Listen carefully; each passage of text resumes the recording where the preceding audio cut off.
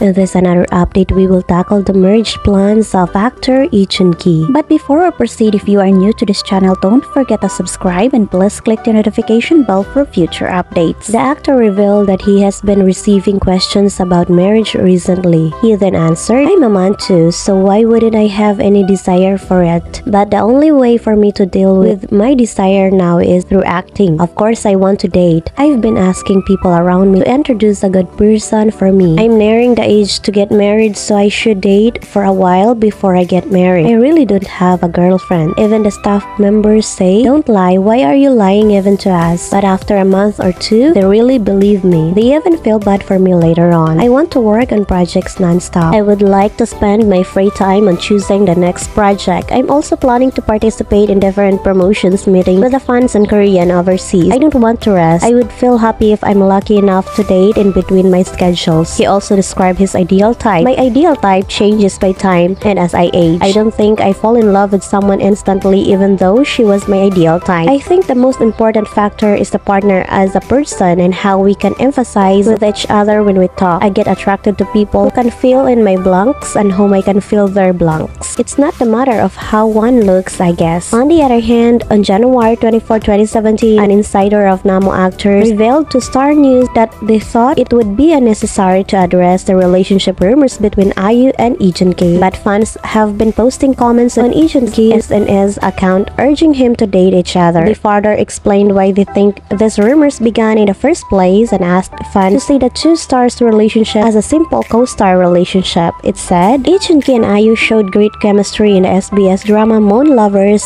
Scarlet Heart Ryeo, but they are just close co-workers, so please do not misunderstand. I think people are misunderstanding because of their great chemistry the drama. Lee Jun-ki is naturally very friendly with other co-stars, and he takes care of them. IU is a simply a co-star. This actor was once publicly announced his romantic relationship with actress Jeon Hye-bin. The pair previously confirmed their relationship in April 2016. The actors became close after working together in the 2014 drama Gunman in Joseon and started dating in 2016 according to their agency. But on August 25, 2017, it was revealed that both actors have broken up. An inside source said that the reason for their breakup was due to their busy schedule which led them to become distant and break up. Furthermore, the source said the actors will continue to support one another as colleagues. Their agency has since confirmed their breakup and the reason.